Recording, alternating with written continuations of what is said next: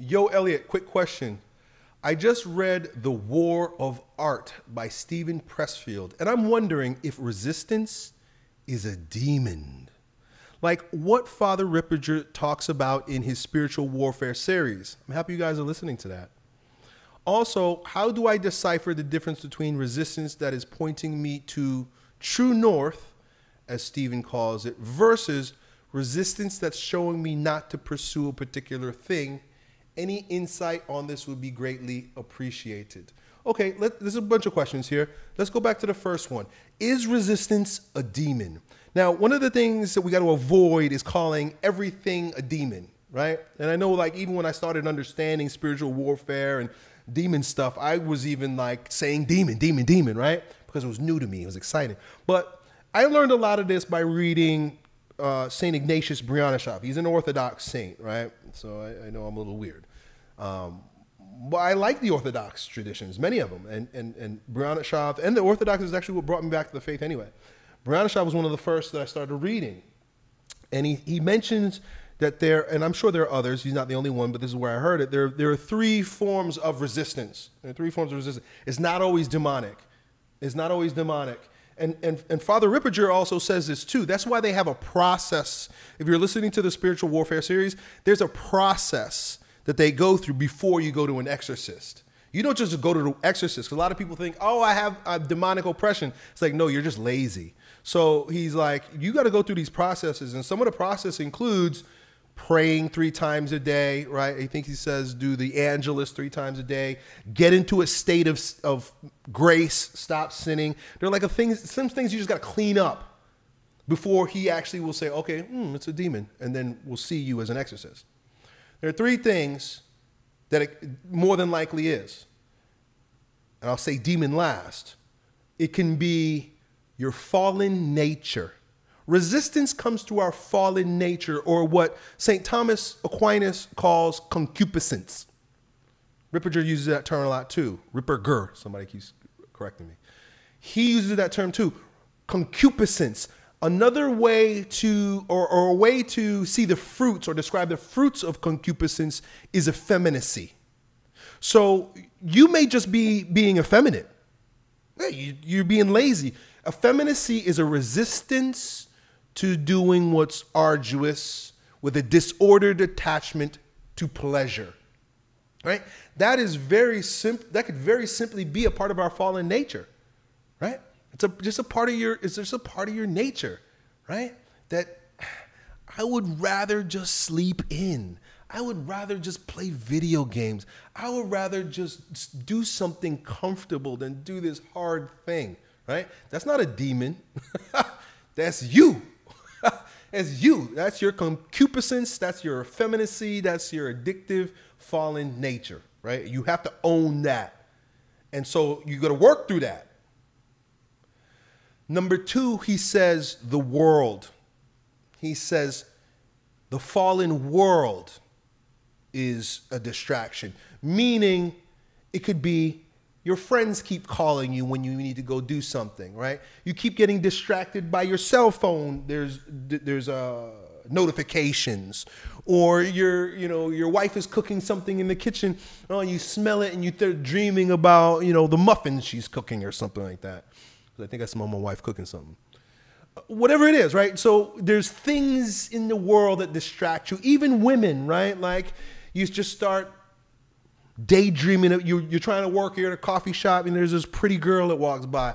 And you ever get into the, one of these like hypnotic trances? When I was much younger, I remember where I'd be like, I'm doing something, and it's like this girl walks by, and it's like, oh man, oh man, oh, oh, I can't stop looking at her. Oh man, and then I'm trying to go back, trying to go back to what I'm doing, and I'm like thinking about her. I'm like, oh man, she's so hot, right? That's distraction in the world. It's a part of our fallen nature right? That you're being drawn, you know, sexually, you're lusting over this person, but it's, it's, also a distraction in the world. That's why, you know, we're talking about Muslims before, and I, I kind of get it why they dress their women, you know, from top to bottom in all black. It's like, so they stop distracting guys. And if dudes weren't so distracted, they would live much more righteous lives. But these women walk around half naked, so it's like, damn, I can't, I can't focus. so And then thirdly, thirdly is it could be a demon, and it's probably the least of the three. So when it comes to Steven Pressfield in his book, and I don't know if he's I don't know what if he's speaking from a secular standpoint or if he's uh, Christian, Catholic. I don't know. I have no idea. But he uses resistance as a term to describe all of those things. It could be any of those things, right? And and he personifies it, which is beautiful. He does personify it, and either one of those things can be personified, right? Satan wants to see you fail. Satan lurks and works in many different ways. Satan can work with your lower nature through your imagination. I think I remember uh, Father Ripperger saying that too. He says that demons can't uh, affect your emotions, but they can play with your imagination. And I've seen that happen to me in my life, and I don't, I can't say if it's demon or not, but there are times where like I, I realize, oh, my imagination is getting the best of me right now either in a good way or a bad way. When I say good way, meaning in a distracting way, right? I'm daydreaming about what could be. I'm like, whoa, whoa, whoa, hold on. So, and it's a beautiful book. I love the book, Art of uh, War of Art. He personifies it and he gives personality to this resistance. That's fair. He says, also, how do I decipher the difference between resistance that's pointing me true north versus resistance that's showing me not to pursue a particular thing. I will share this with you. It's a new. It's new. If you've been here long enough, or you're, you're making your way through the program, you'll hear me say a lot of different things with regard to this. You may even heard me say things today. I don't always have the same answer because I can come from different angles with things. And there's there's this beautiful piece that I heard Roosh V say, right? Roosh V. I don't really follow him, but I like him uh, particularly because he he repented. Right, he was one of these guys who like pickup artist guys, very clever. Wrote a lot of books. I wasn't into him then, but then when some somebody put me on to him when he became Christ, Orthodox Christian, I was like, oh, okay, that's interesting. For a guy to have a, a, a change of heart like that, let me look into him. So I started, you know, I started following him. And like I said, I, I don't read everything he puts out, but he had a, I follow him on Telegram. He had a telegram that went out the other day, a couple months ago. And he answered this question by saying, I always use this litmus test. He says, if this thing is meant to glorify me, I know that it is not my true north, like you say, right? It's showing you not to pursue. If I'm if there's just something that I'm working with and I'm struggling, and I ask myself, does this glorify me? That means, okay, maybe not. Or does it glorify the Lord? He says, okay, then. Right? Because remember, I said earlier that if you take, God says, if you take care of my things, I'll take care of yours. And so it's been it's been so humbling for me and it's been so helpful for me. It's been mind-blowing for me to realize that as long as I'm doing it for the Lord, I'm in the right regardless of what happens. I don't I don't gauge myself on worldly results anymore. I used to. It's a little easier for me to say that because I got a lot of worldly results right now, right? So I don't know if I don't know if I could have been this way, you know, 10 years ago. But as I'm coming to wisdom and understanding, I have to ask myself, does this glorify the Lord? Is, is this in some way, shape, or form glorifying the Lord? And even if there's resistance, especially if there's resistance, I have to be a little bit more open to it. And then I also have to be honest with myself. Am I just trying to glorify myself, right? Am I worried about my reputation? Am I worried about what people think about me? Am I worried about how much money I'm going to make? Am I worried am I worried about all these things that are pure of my of my own selfish ego? Well, then I have to then I back off a little bit and I say, "Okay, because it doesn't mean that, that because it glorifies me doesn't mean that it's wrong. It doesn't mean that it's wrong, but it means that I'm too attached to it. You see? Because I also recognize that God will God will use somebody by putting them on a pedestal for the world, which glorifies that person so that God can shine through them, so that God can be glorified through that person. So you don't want to be fake humble, meaning, oh, I'm not gonna I'm not gonna say anything, or I'm not gonna I'm not gonna give myself I'm not to step into the, into the limelight because, well, that's ego. Well, no, no, no. Even in the in in the gospel or, or, or one of Paul's letters, I think he says something like, um, "Nobody lights a candle and puts it under a basket." What he meant by that was like, hey, if you got a light, you got to shine that light. You got to shine that light up, dude. You got to show people, right? You got to put that light out there so people can see it. Oh, wow, that's beautiful. But you don't have a light and then you hide it, put it under the table, right? So, but is it glorifying the Lord or is it glorifying myself? Let's see. How do I know if the resistance that's pointing it's pointing me to true north? Now, resistance that's tr- pointing you to the true north, like you were saying before, that comes from, or like I was saying before, let me back up for a moment in this whole true north thing, too. Let me go there with that. We get kind of we get kind of caught up and distracted, confused, and attached to these true north things, right? And even like when I when you guys begin this program, I ask you to write out your soul goals, right? And what do we do before we write our soul goals? We humble ourselves fast and pray. This is my advice to you guys when you join the program. I say, hey, look, before we start talking about what your goal is, what you're doing, right, what your true north is, you've got to humble yourself, right? That's the whole point of that initiation when you come into this program. Does it always work? Is it 100%? No, but it's a form.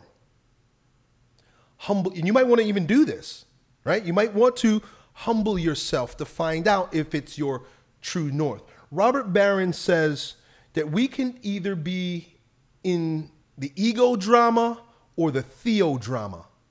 Ego drama is my true north, how I'm going to make my life and what I'm going to be, and me, me, me, me, me. Ego drama. He says the theo drama is where is God calling me to go?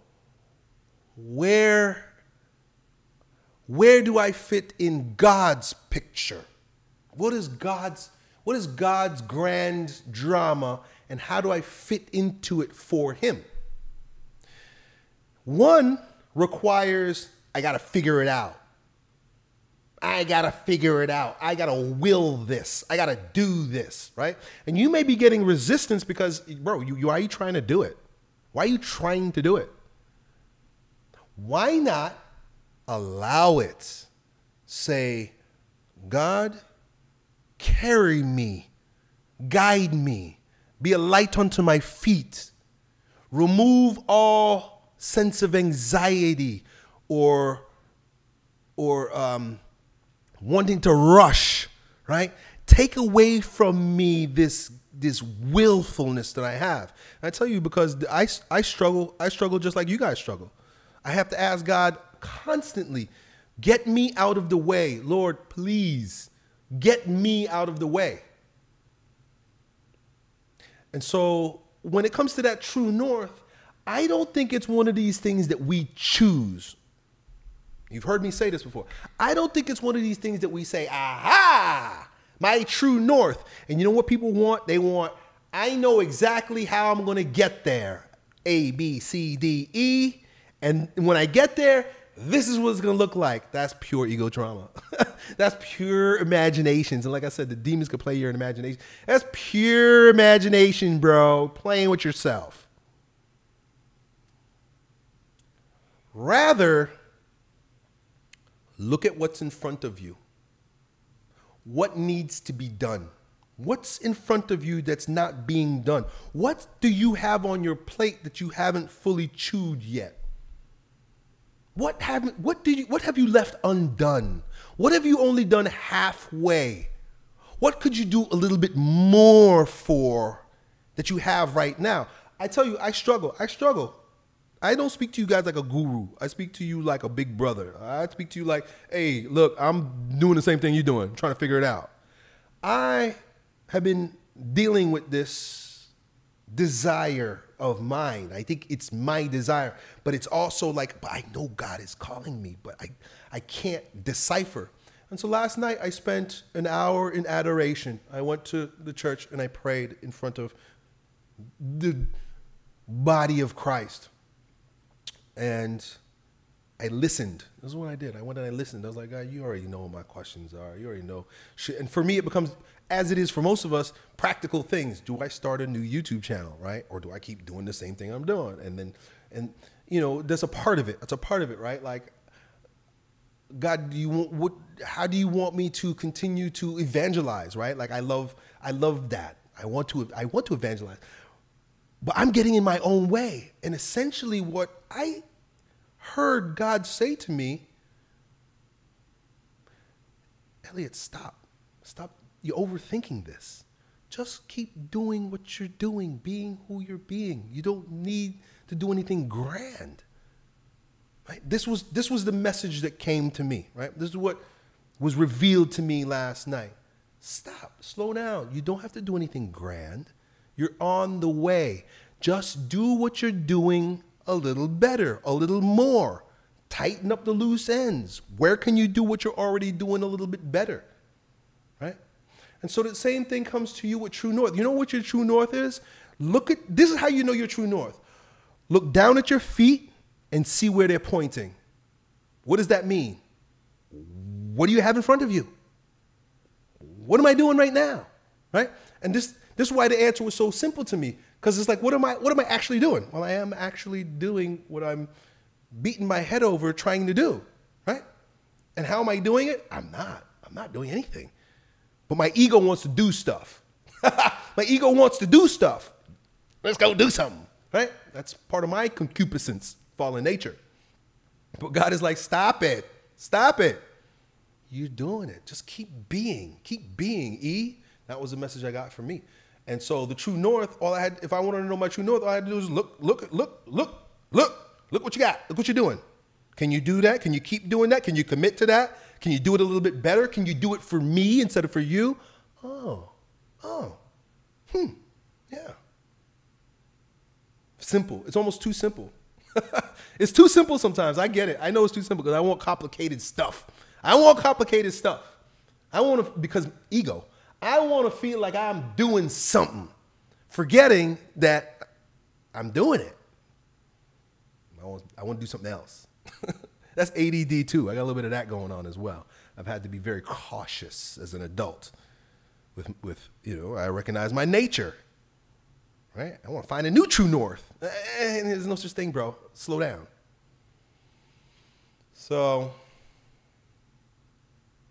anyway, so that's a little bit of insight for you. You say you want some insight? That's my insight on that, dude. I hope that helps. You said it too in that comment. Gotta stay vigilant. That's it. Stay vigilant, dude. Done. Yo, are you ready to become a king in your life? If so, I'm looking for a few more guys that I can work closely with in order to help them dominate in fitness business, and with women. If that sounds like you, then just go over to my Instagram account and DM me the word King, K I N G, my team will get back to you with the details. If you're able to message me today, I can guarantee you that you'll be able to work closely with me. So DM me the word King on my Instagram, and I'll get back to you with the details right away.